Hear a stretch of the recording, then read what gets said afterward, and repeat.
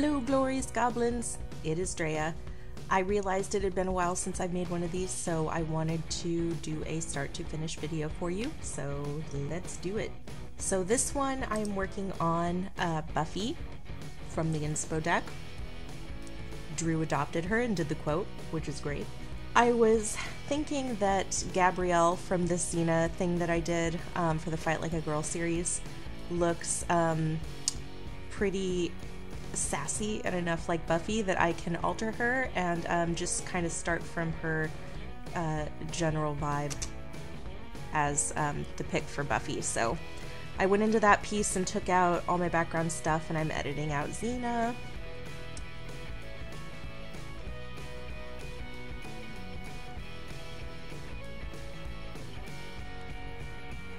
Looking up some Buffy references. I have trouble with Buffy's outfit because making her recognizable can be kind of hard because she just wears normal clothes. But I figured this outfit would be pretty classic Buffy. So I'm changing uh, in the layers I had drawn before the colors of things just to give me a little head start. I know I obviously had to change that back arm, uh, change her mouth. She has thinner lips. Looking up some hair references. Again, fan art of Buffy can be hard for me because her hair's pretty plain.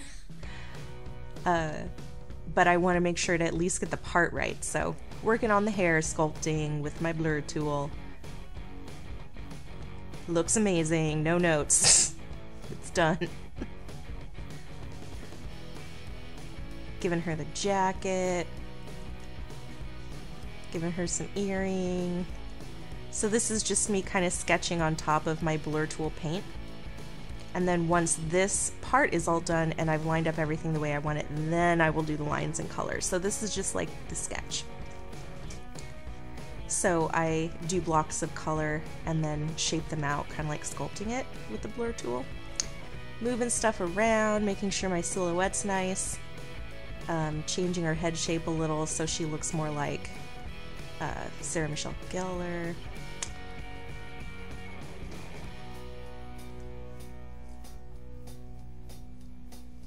Doing the pants.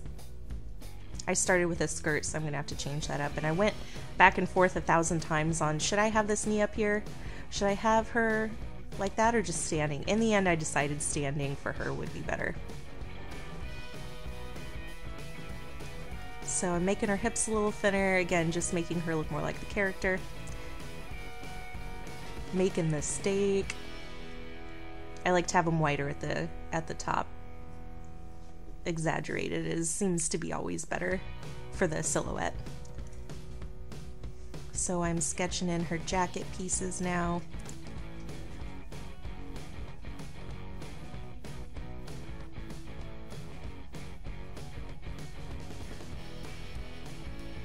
Now I, when I'm done with the whole thing, I like to move it around, stretch it out, see if I can make it as dynamic as possible going into my old folders here because I, I have so many things I've already made.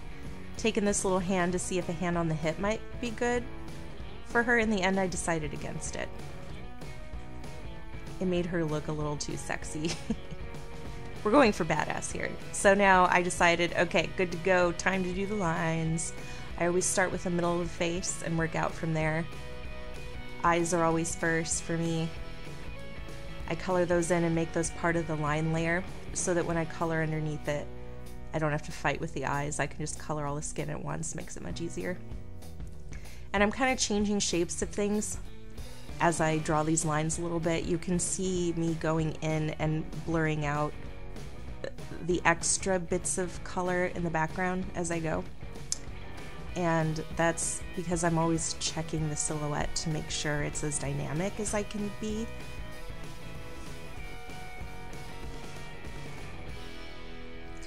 Right now I'm fighting because I'm so used to drawing curly hair. The hair took me an embarrassingly long time because I was like, no, it's straight. It's straight hair. Make it straight.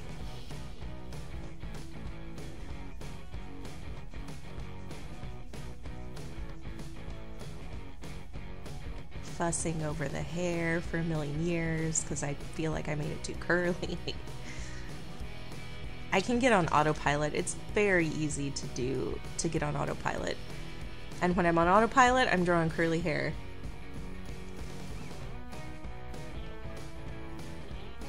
If you hear whining, that is my chupacabra. I have a plate of food on my desk, and she's wanting us to know that she's here to help with that plate of food. Now Drew is chasing her around the room. We're just very professional in this operation. Oh, you saw me at the Something Is Wrong podcast? Is a very good podcast, you guys. It's on Spotify. Highly recommend. It's very addicting.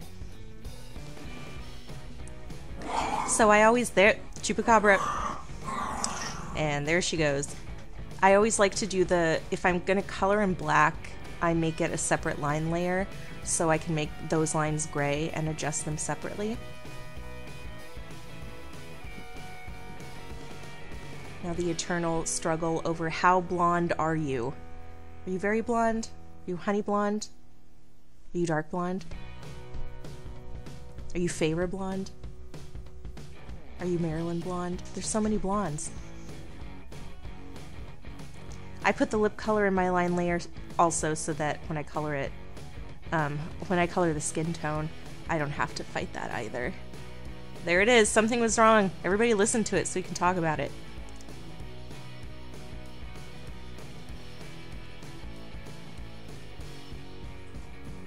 This one's a pretty fast color because really there's just a few colors.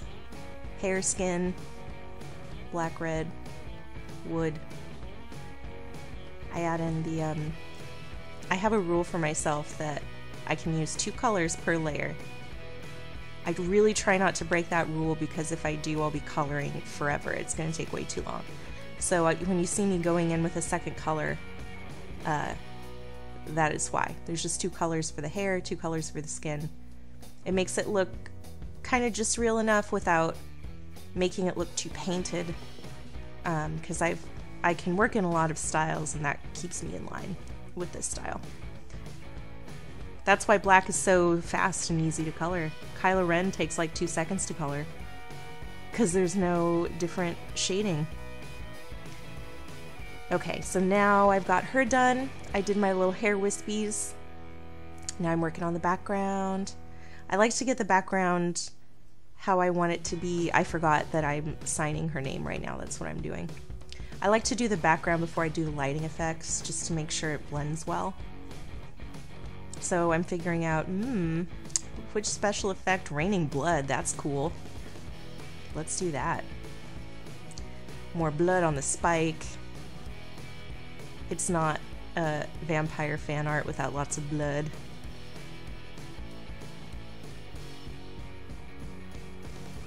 Okay, so now when I go in to do the lighting effects, I copy everything that I've colored and the lines into another folder on top of that merge all those layers together, I make it darker, turn the saturation up. And then, so what you're seeing me do now is deleting that top layer so everything I did before shows through underneath. And that's the fastest way I found to do um, cool, dramatic lighting really quickly and not lose the colors that I spent so long putting in the first place. Making her pants shiny, and then something I started doing recently in the end, now I've got these two different layers of color, is I'll go in and I'll color adjust everything to make it more dynamic um, color-wise. Oh, and there's the the shiny at the end. I just um, put a gradient um, foreground to clear just to fade out in the background just to make her stand out a little more. Uh, so I did my, I turned up the reds in the shadowy top layer, and I turned up the yellows and the highlights of my bottom layer, and that's how I did the extra lighting stuff. Um, let me know if you guys want some more nitty gritty detail things like that. I could do some more tutorial kind of stuff, but um, so this is, I just thought I'd start with this one. I hope you guys enjoyed it, and I will talk to you later.